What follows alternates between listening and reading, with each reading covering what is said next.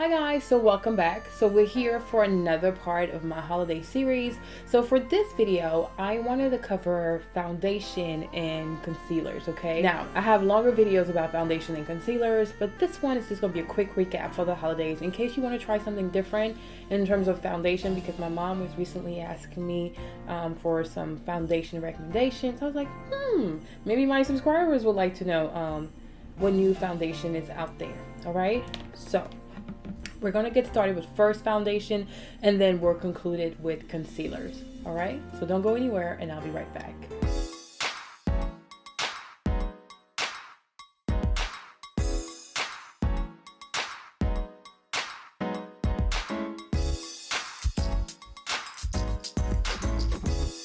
So my first recommendation is going to be one of my favorite foundations in the whole world, which is the Kat Von D Lock It Tattoo Foundation, okay?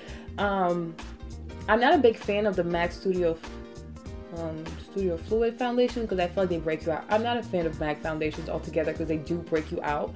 So I've tried Bobbi Brown because I loved it, and then I stumbled upon Kat Von D, the Lock It Tattoo Foundation.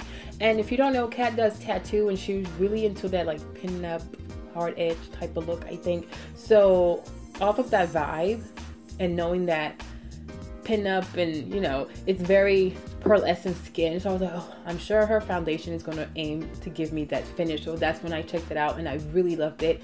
Um, this one is d72 now i do have three different shades. I have the 70 71 and 72 and i think i also have the deep 66 all right? So just go it's kind of hard to say what color is going to be your color, but just go in there and get matched, okay? So definitely try the Lock It Tattoo foundation. Now, it is a full coverage foundation. A lot of people complain about it, and the reason why they're complaining is because they're not using the right brush. It's thick, it's very thick, all right? So what you want to do, you're going to want to use some type of dance foundation brush. Um, this one is by Sedona Lace um, and a few others. Just giving you an example, right, of brushes that you can use. So definitely look for a buff brush, very dense brush. And when you apply this, go in circular motion. That's really gonna help diffuse the product into your skin, all right? So the Kat Von D Lock It Tattoo Foundation in conjunction with some dance fluffy foundation brush, well, dance foundation brushes, okay? Awesome. My other favorite foundation is the Marc Jacobs Genius Gel. Now this one, I love the finish of this one, but I don't like the fact that they don't have enough shades for a woman of color. Um, it's also, you also get a pump, which is pretty awesome. You know, it's very sleek and it kind of just fits into your hand. Very ergonomic, is that how you say it? But they need more shades. So what I do, I do mix it with different foundations. Um, for example, I'll mix it with the Revlon Color Stay, which is also one of my really nice everyday foundation. If you wear a foundation every day to go to school and you don't want to waste your good foundation, this one is in Cappuccino. Okay, now this one does not have a pump, you just pour it out. Love that one. Or I will mix my Genius Gel with these two. Um, the darker shade right here is Brownie, and this one is Rum Spice. Now these, uh, now these foundations are from Black Radiance. You can get them at CVS. Now, I love Black Radiance products, even though they're drugstore products. I do love them. Um, they don't damage my skin. I really, really do appreciate these products. And you can wear them by themselves as standalone. It's just that if you want to get that nice finish with the Marc Jacobs Genius Gel Foundation, you can mix those in there. Uh, but you can definitely wear these on their own because that's what I do. Okay. Another one that I like sometimes is the Fit Me by Maybelline. 355 is my color in this one. Um, another drugstore product. There's no magic there. It's not my absolute favorite, but if I must use it, I'll use it and mix it with something. All right. Now, the other foundation that I really love, and I did a video about this one also, which is gorgeous. I'll have that down below in the info box, is the Lancome Teint Visionnaire. And it also comes with the concealer here at the top. Not a concealer, it's a spot corrector okay? So don't use it under your eye but use it where you have spots.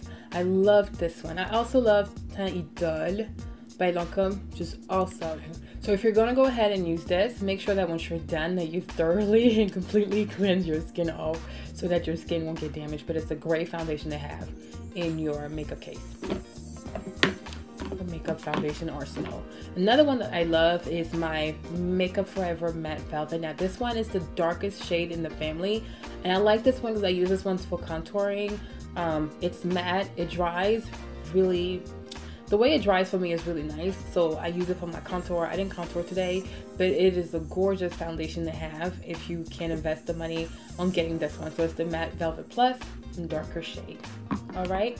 Now the cover cream concealers are very thick so you're gonna want to work with like a wet beauty blender and start by warming it either on the back of your hand but trying to warm um, warm it up before applying it directly to your face.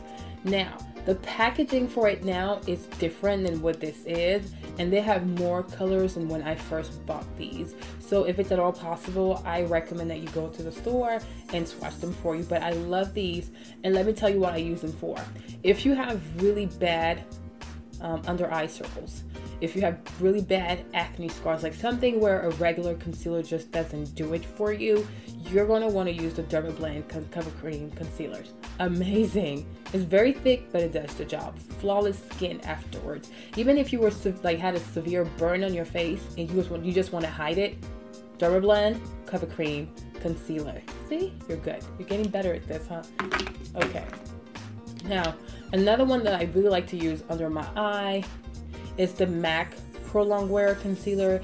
Um, you can go a shade lighter than your skin. It's up to you. You're gonna have to see what works for you. But if you want to use this every day, I would say you can get your the color of your skin or just a shade lighter than your skin. So I believe this one is like NW40. This is NC42.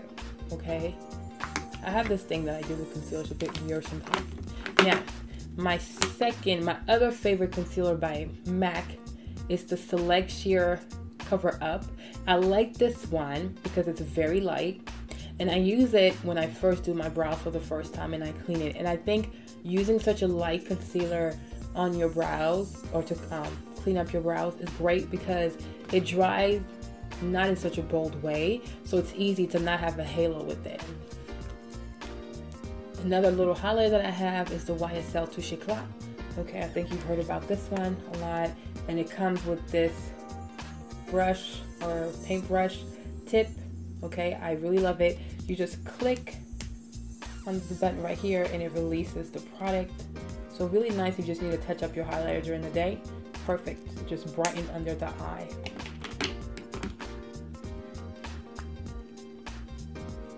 Then one of my other favorite concealers is the Illamasqua Skin Based Lift in Deep 2. You get Illamasqua at Sephora, okay?